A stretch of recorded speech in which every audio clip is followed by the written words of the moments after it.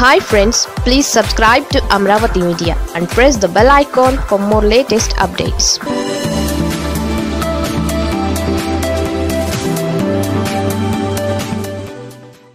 పాదయాత్రలో Lokesh self goal. జనం నమ్ముతారనేనా?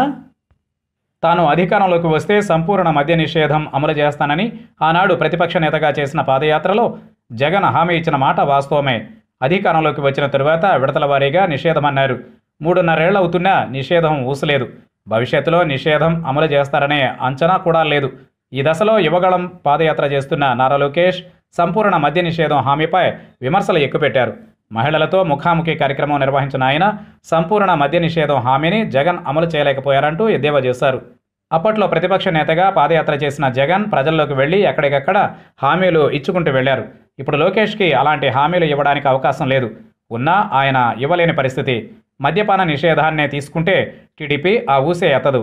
ఎంతసేపు జగన్ అమలు చేయలేకపోయారంటున్నారే కానీ తాము అధికారంలోకి వస్తే మద్యపాన నిషేధం అమలు చేస్తామని చంద్రబాబు కానీ లోకేష్ కానీ ఎప్పుడు చెప్పలేదు. చెప్పరు కూడా.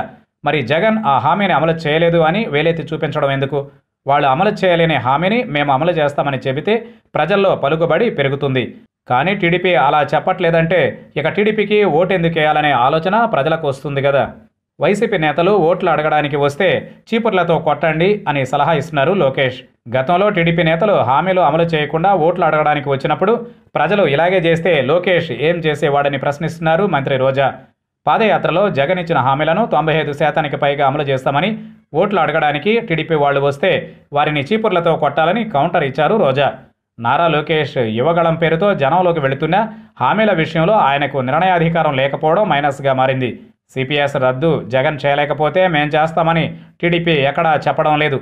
సంపూర్ణ మద్య నిషేధం వైసీపీ వల్ల కాకపోతే మేం చేసి చూపిస్తామంటూ టీడీపీ చెప్పుకోలేదు.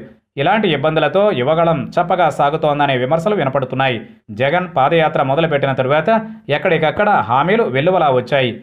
వాటిలో నుంచి నవరత్నాలు పుట్టుకొచ్చాయి. కానీ లోకేష్ యువగళంలో ఎలాంటి కొత్తదనం కనబడడం లేదు. పాత విమర్శలే వినపడుతున్నాయి.